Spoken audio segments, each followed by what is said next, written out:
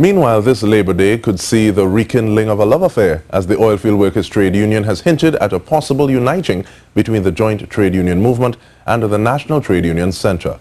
The OWTU leader Ancel Roget, who is also the leader of JTUM, gave the hint during May Day celebrations at Harris Promenade this morning. Ian Wason has more.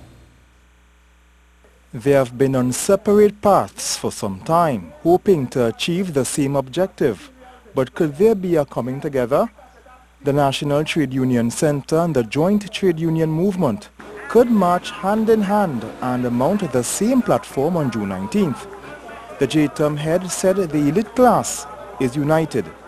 You do not hear them discussing in public or making pronouncements against one another in their various elitist in their various elitist organizations. They support one another because they are from one class.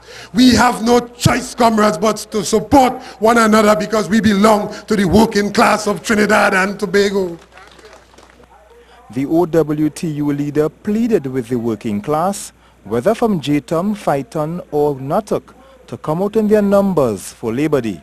But I want, I want to join with both Comrade Remy and Comrade Annisette to advise comrades that June 19th is mere weeks away.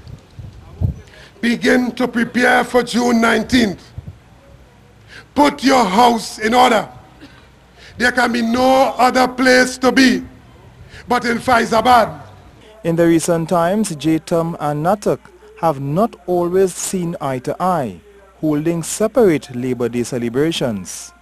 Ian Wilson, C News.